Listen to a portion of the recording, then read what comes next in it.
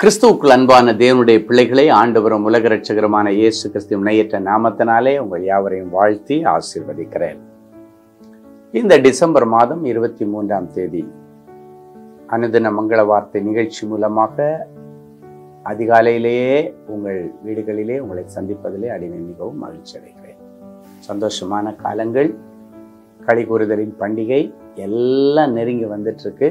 எல்லாருடைய வீட்டிலும் ஒரே வெளிச்சம்தான். நல்ல சீரியல் செட் என்ன ஸ்டார் என்ன எல்லாம் பயங்கரமாக ஜோடிச்சு அழகாக இருக்கிற இந்த நேரத்தில் ஆண்டவர் இன்னைக்கு ஒரு விசேஷித்த காரியத்திற்காக நன்றி சொல்லும்படி இந்த காலை வேளையிலே நமக்கு ஒரு ஏவுதலை கொடுக்கிறான் ஸோ இந்த நாள் மங்கள வார்த்தை எடுத்து வாசிங்க.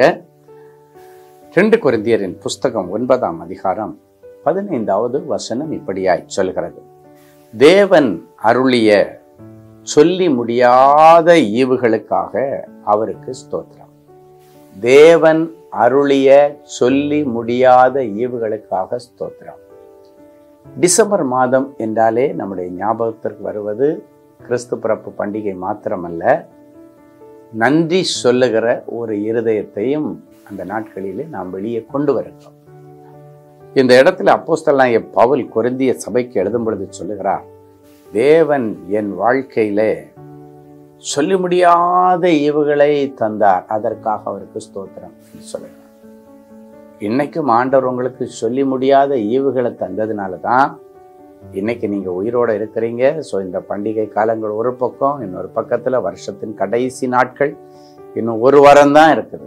இந்த நேரத்துல எல்லாம் ஃபுல்லாக இந்த ஒரு வாரமும் இந்த வார்த்தையை உங்கள் வாயில் உச்சரிச்சிட்டே இருங்க. தேவன் அருளியை சொல்லி முடியாத ஈவுகளுக்காய் ஸ்தோத்திரம் ஈவுகளுக்காய் ஸ்தோத்திரம். தேவன் கொடுத்த எண்ணி முடியாத ஆசீர்வாதங்களுக்காய் ஸ்தோத்திரம். சந்ததிக்காய் ஸ்தோத்திரம் செல்வங்களுக்காய் ஸ்தோத்திரம் வருமானத்திற்காய் ஸ்தோத்திரம். சொல்லிக்கிட்டே இருங்க. ஸ்தோத்திரம் ஸ்தோத்திரம் ஸ்தோத்திரம். ஏழு நாட்களும் இதை சொல்லிட்டு அதே துதியின் சத்தத்தோடு ஆண்டவருடைய கருத்தை பிடிச்சிட்டு புதிய வருஷத்தில் போவதற்கு இந்த கடைசி வாரத்திலிருந்து நீங்கள் ஆயத்தமாகுங்கள் இந்த ஆண்டவருடைய நாமத்தினாலே நான் கேட்டுக்கொள்கிறேன். சரி தேவன் அருளியே சொல்லி முடியாத இவர்களுக்கு தோட்டம் அப்படின்னா ஆண்டவர் நிறைய காரியங்களை செய்திருக்கார். நிறைய பேர் ஆண்டவர் இன்னைக்கு என்ன செய்துட்டார் அப்படி சொல்ற அளவுக்குன்னு யோசிச்சுட்டு இருக்கிறீங்க முதல்ல இதை சொல்றதுக்கு உன் சரீரத்துல உயிரை ஆண்டவர் தான் கொடுத்துருக்காரு. உயிர் இருந்தால் தான் எதையும் நாம சம்பாதிக்கவும் முடியும் எதையும் நம்ம அனுபவிக்கவும் முடியும். எல்லா ஆசீர்வாதங்களை விட முக்கியமான அந்த உயிர் ஜீவனை உங்களுக்கு தந்திருக்காரு. இதையா நிறைய பேர் யோசித்து பார்க்கல? உனக்கு பொண்ணும் பொருளும் வீடு வாசல் பங்களா எல்லாம் இருந்தும் உயிர் இல்லைன்னாச்சுன்னா அதை நீ அனுபவிக்க முடியாது. அப்போ முக்கியமானதை உனக்கு கொடுத்துருக்கிறாருல்ல. எத்தனை பேர் அதை நினைச்சு பார்க்குறீங்க? முக்கியமானதை கொடுத்துரு. உனக்கு வீடு இல்லை. ஆனால் வாடகை வீட்டில் நீ இருந்தாலும் உனக்குள்ளால இருக்கிறத கொண்டு வாழ்றதுக்கு உனக்குள்ள உயிர் ஆண்டவர் வச்சிருக்காரு. உனக்கு ஒருவேளை இது வரைக்கும் ஒரு நிரந்தரமான வேலை இல்லை. ஆனாலும் இருக்கிறதுல சாப்பிட்டுட்டு உன் உயிரை ஆண்டவர் இன்னைக்கும் காப்பாற்றி கொடுத்துருக்கார். இருக்கிறத சாப்பிட்டுட்டு உயிரோட இருந்து நீ வேலை தேடுறதுக்காவது உனக்கு உயிர் இருக்குத. அதுக்காக ஆண்டவருக்கு நன்றி சொல்லணும். என் அன்பு தேவனுடைய பிள்ளைகளே இந்த உலகத்தில் இருக்கிற ஒரு மனுஷன் நன்றி மறவாதவனாக இருக்கணும். நன்றி அறிதல் உள்ளவர்களா இருங்கள் என்று வேதம் சொல்லுங்க யாக்கோபு ஒன்றும் இல்லாம யோர்தானை விட்டு கடந்து போனான். ரெண்டு பரிவாரங்களோட திரும்பி வரும்பொழுது அவன் சொல்லுகிறான் அந்த இடத்துல ஜங்ஷன் வந்த உடனே அவனுக்கு ஞாபகம் வருது. என்ன சொல்லுகிறான்?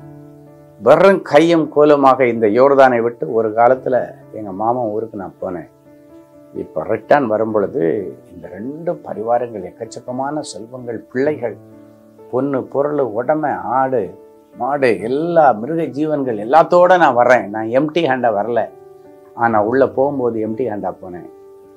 அதை சொல்லி ஆண்டவருக்கு ஸ்தோத்திரம் பண்ணுகிறான் என்னிடத்தில் ஒரு முறை ஒரு சகோதரர் கேட்டார் இன்னைக்கு ஆண்டவர் ஒன்று பெரிய செல்வசீமானா நல்ல ஐஸ்வர்யவானா நல்ல ஊழியக்காரனா அநேகருக்கு ஆசீர்வாதமாக வச்சுருக்காரு. இன்னும் ஏன் நீ ஹோட்டலில் பிளேட்டு கழுவுனேன் எச்சியலை எடுத்தேன்னு ஏன் அதெல்லாம் சொல்லி உன்னை நீயே கேவலப்படுத்திக்கிற அப்படின்னு ஒரு முறை ஒரு சகோதரன் இடத்துல கேட்டார். அப்போ நான் சொன்னேன் எச்சியில் எடுத்தவனே இன்னைக்கு அநேகருக்கு ஆகாரம் கொடுக்குற அளவுக்கு உயர்த்தின ஆண்டவரை பற்றி சொல்லாமல் எப்படி என்னால் இருக்க முடியும்? உண்மையிலே எனக்கு மனசாட்சின்னு ஒன்று இருந்தால் நான் அதை சொல்லித்தான் ஆகணும். யார் என்ன அதை நிமித்தம் கேவலமாக நினச்சா எனக்கு ஒரு பிரச்சனையும் இல்லை என்ன இருக்குது? ஆண்டவர் தான் எனக்கு செய்தார். ஆண்டவர் சொன்னதை சாவறது வரைக்கும் நான் சொல்லிகிட்டே தான் இருப்பேன். இதை ஒரு நாள் நான் அசிங்கமா நினைக்கிறது இல்லை காரணம் என்னன்னா அந்த ஆசீர்வாதத்தை தந்த தேவனை நான் இதை நிமித்தம் மகிமைப்படுத்துகிறேன் என்னை போல கஷ்டப்படுறவன் பிளேட்டு கழுவிட்டு இருக்கிறவன் எச்சியல் எடுக்கிறவனுக்கு என்னை போல டிரைவரா இருந்தவனுக்கு வாழ்க்கையில ஒரு நம்பிக்கை கொடுக்கும் இந்த சாட்சி. அதை நினைச்சு நினைச்சு நினைச்சு இன்னைக்கு ஆண்டவருக்கு நான் நன்றி செலுத்துகிறேன். ஒரு காலத்தில் கிறிஸ்மஸ் பண்டிகை வரும்போது மொத்தமே ஒரு ஐநூறுரூவா பட்ஜெட் வச்சுட்டு நான் என்னுடைய மனைவியும் ட்ரெஸ் எடுக்க போவோம். சென்னையில் எந்தெந்த இடத்துல எல்லாம் பிளாட்ஃபார்ம் கடையில் துணி விற்பாங்க பிள்ளைகளுக்கு ரெடிமேட் கிடைக்கும் அப்படின்றதெல்லாம் எனக்கும் என் மனைவிக்கும் நல்லா தெரியும். என் பிள்ளைகளுக்கு பிளாட்ஃபார்மில் நான் எடுத்து கொடுத்த ட்ரெஸ்ஸுகள் தான் அநேகம். என் பிள்ளைங்கள்லாம் சின்ன பிள்ளைகளாக இருக்கும்போது. ஏன்னா அவ்வளோ தான் ஒரு ஐநூறுரூவா பட்ஜெட் போட்டு போகும் ஸோ அந்த நாட்களில் எனக்கு மூணு பிள்ளைகளில் ரெண்டு அதுக்கப்புறம் தான் சின்னவன் பிறந்தான் சின்னவன் பிறக்கிறதுக்குலாம் ஆண்டவர் எங்களை நல்ல நிலைமை கொண்டு வந்துட்டார். ஸோ அந்த நாட்களே எல்லாம் பார்த்தீங்கன்னா பிள்ளைங்களுக்கு ரெண்டு பேருக்கும் ஆளுக்கு நூறு நூறுரூவா என்னுடைய மனைவிக்கு ஒரு நூற்றம்பது ரூபா எனக்கு ஒரு நூற்றம்பது ரூபா. நீங்கள் நினைக்கலாம் நூற்றம்பது ரூபாயில் சட்டை பேண்ட் எடுப்பீங்களா கிறிஸ்மஸுக்குன்னு நீங்கள் நினைக்கலாம். அந்த நாட்களில் அடையார்லேருந்து கிண்டி போகிற ரோட்டில் அடையார் ஜங்ஷன் பக்கத்திலே குமார்ஸ்னு ஒரு கடை இருக்கும். அங்கே போனால் ஒரு பேண்ட்டு ஒரு சட்டை ரெடிமேடு நூறுரூவாய்க்கும் எடுக்கலாம் நூற்றி பத்து ரூபாய்க்கும் எடுக்கலாம். நூற்றம்பது ரூபா கொண்டு போயிட்டு அதில் நாற்பது ரூபா கொண்டு வருவேன். ஸோ அப்படிப்பட்ட கடைகளை தேடி தேடி பிடிச்சி அந்த கடைகளை கண்டுபிடிச்சி போகும் ஆனால் அது ஒரு காலம். ஆனால் இன்னைக்கு நல்ல பிராண்டட் ஷோரூமில் போயிட்டு லூயி ஃபில்பி ஷர்ட்டு தான் லூயி ஃபில்பி பேண்ட்டு தான் வேனுஷன் தான். என்னென்ன பிராண்டெல்லாம் இருக்குன்னு அந்த காலத்தில் எனக்கு தெரியாது. எனக்கு தெரிஞ்சதெல்லாம் பிளாட்ஃபார்ம் சின்ன குட்டி கடைங்க இதில் தான் போய் எடுத்தேன். ஆனால் இப்போல்லாம் என்னுடைய பண்டிகை நாட்களுக்கு என் பிள்ளைகளுக்கு மட்டும் இல்லை எங்கள் அலுவலகத்தில் என்னோடு கூட இணைஞ்சு பணி செய்கிற ஊழியம் செய்கிற பிள்ளைகளுக்கு கூட நல்ல ஆடைகளை எடுத்து கொடுக்க கர்த்தர் அனுக்கிரகம் பண்ணுகிறேன் இதெல்லாம் சொல்லாமல் எப்படி இருக்க முடியும்? இன்றைக்கி பெரிய ஷோரூமில் ட்ரெஸ் எடுக்க போகும்போது ரேமண்ட் ஷோரூமில் போகும்போது இல்லை நான் லூயி ஃபில்பி ஷோரூமில் போகும்போது சில நேரங்களில் என்ன அறியாமலே எனக்கு கண்ணீர் வந்துடும் நான் மனைவி கேட்பாங்க என்னப்பா திடீர்னு அழுவீங்க நல்லா தானே வந்துட்டு இருந்தீங்க அப்பதான் யோசித்து பார்ப்பேன் பிளாட்ஃபார்மில் என் பிள்ளைகளுக்கு தேடி தேடி ட்ரெஸ் எடுப்போம். அதை எடுத்துட்டு இங்கே வீட்டில் வந்து பார்த்தாச்சுன்னா சில இடங்களில் கரை இருக்கும். ஏன்னா பிளாட்ஃபார்மில் கூட சில இடத்துல சின்ன சின்ன ஓட்டை இருக்கும். இப்படியெல்லாம் தான் எங்கள் காலங்கள் கடந்தது. ஆனால் இன்னைக்கு நல்லா போட்டு சூட்டு டை பாருங்க எவ்வளவு மேன்மையை ஆண்டவர் வச்சிருக்காரு. இதெல்லாம் செய்த ஆண்டவரை எப்படி நினைக்காம இருக்க முடியும்? எப்படி அவருக்கு நன்றி சொல்லாம இருக்க முடியும்? எவ்வளவு நல்ல தேவன் பாருங்க. அந்த தேவன் எந்தெந்தைக்கும் சதா காலங்களிலும் நம்முடைய தேவன் மரண பழியும் ஒன்று நடத்துவார். அவர் மட்டும் இல்லைன்னா இந்த ஸ்டீஃபன் இன்னைக்கு இல்லை. அவர் மட்டும் இல்லைன்னா இந்த மேன்மை எனக்கு இல்லை. ஊழியம் எனக்கு இல்லை. எல்லாமே அவர் தந்த ஈவு. ஒவ்வொரு நாள் அதை நினைச்சு நினைச்சு கண்ணீரோட ஆண்டவருக்கு நன்றி செலுத்துறேன். நீங்களும் அப்படிதான். ஆண்டவர் செய்த சின்ன சின்ன நன்மைகளை கூட நினைச்சு பார்த்து நீங்க நன்றி சொன்னீங்கன்னா ஒரு அழகான வசனம் இருக்கிறதல்லவா நீ கொஞ்சத்திலே உண்மையுள்ளவனா இருந்தால். உன்னை அநேகத்திற்கு அதிபதியாய் மாற்றுவேன்.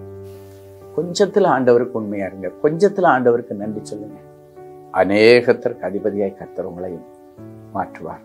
ஜபிக்கலாமா? அன்பான ஆண்டவரே உமக்கு நன்றி.